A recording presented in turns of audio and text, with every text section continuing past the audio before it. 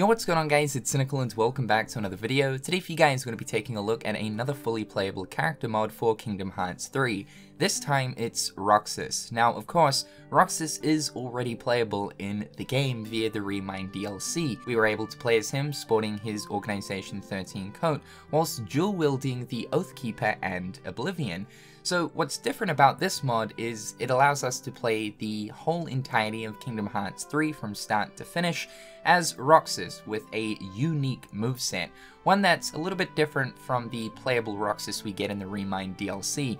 As you guys should know, he is quite limited as he was only intended to be used in that one specific uh, fight against Saïx, so this mod will allow us to do everything that Sora is usually able to do, but as Roxas, and of course Roxas is here in his casual attire. The model of Roxas is created by beloved Somnus. Yes, there is actually a model of Roxas wearing his normal casual attire in Kingdom Hearts 3 as it does appear in one cutscene. On top of that, the Roxas voice, yes, there are even battle quotes, has been created by Skuld.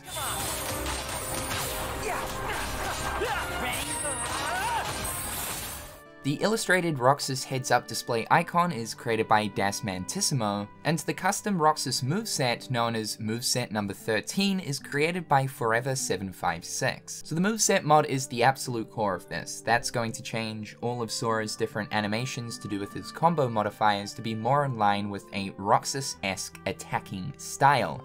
Uh, these animations are of course mixing and melding a bunch that are already existing within the game, taken from uh, abilities from Xemnas as well as dual wield Roxas.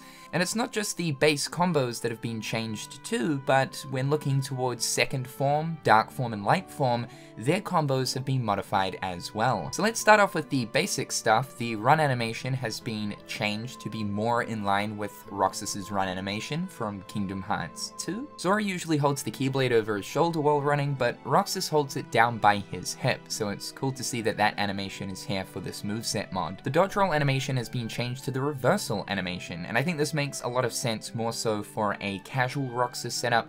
Uh, Roxas's dodge, as seen in 358 over 2 days, is more of a simple quick dash forward. So to be able to execute reversal at absolute will by just simply pressing square is really, really satisfying. Guard has been changed to the dual wield Roxas guard, so for those of you who are familiar with double forms guard, it is the pretty much exact same thing. And it's kind of neat too, because when he guards, he summons forth like an extra keyblade real quick, because that's just part of that animation data, which personally I think looks really cool here. Double flight has been changed, so rather than Sora's traditional spin that he does for his second jump, Roxas will curl into a ball and do a multitude of flips. So for the base combo, a lot of the different animations have been changed towards the combo modifiers, mixing in animations from dark and light form, which is really nice and makes perfect sense here for Roxas.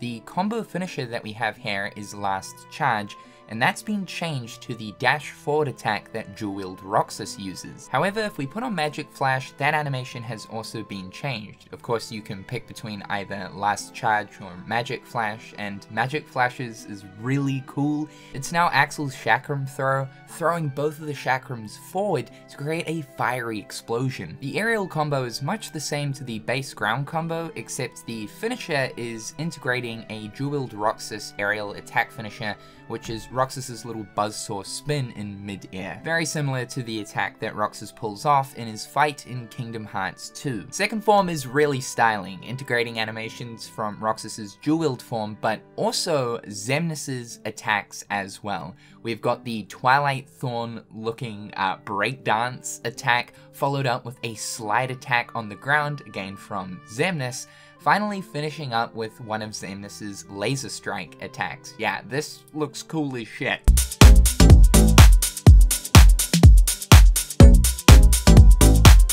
And the aerial combo integrates more of those dual-wield Roxas fancy moves, but the finisher towards this is badass. We've got the Twilight Thorn attacks going on, ripped from Xemnas. We've got the lightsaber twirl of the dark side, followed up with one roundhouse kick that is unbelievably stretchy. For light form, we've got more of the dual-wield Roxas goodness going on, but for the two finishes, these have been changed. We have the last charge animation, but with more of a light effect integrated, and bada bing bada boom, whipping up an Ultima Slam light sandwich. The aerial combo incorporates a lot of double forms animations, but the finisher here is something quite cool. Roxas almost drill spins forward with a big looking light sphere in front of him, I, I want to say that this is pulled from Xemnas' moveset, but I'm not absolutely certain. Uh, it looks like the effect is something from Xemnas, but again, not certain. The effect of Lightform's dodge has also been changed too. Dark Form works in a similar way where we've got more of the dual-wield Roxas and some double form stuff going on,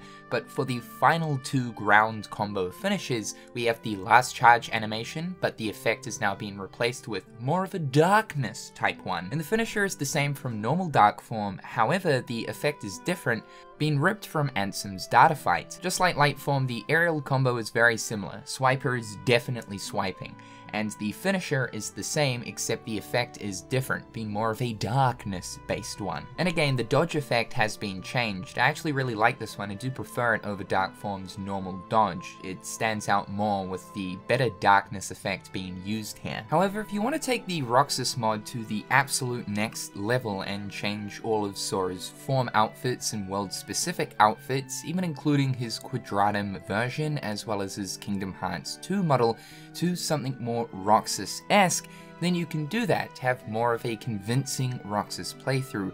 Thanks to Doge X Tylon's Roxas Expanded mod, it literally changes all of Sora's forms to that of altered Roxas ones.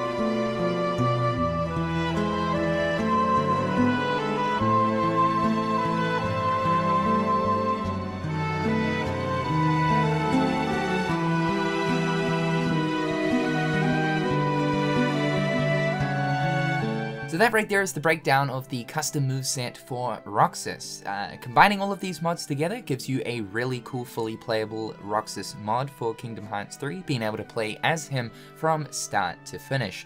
Shout out to the mod creators, especially Forever756 for the fantastic work they did towards the moveset. As always guys, I will leave the links to the mods in the description down below. However, I'll leave you guys with some gameplay to example just how awesome this mod is.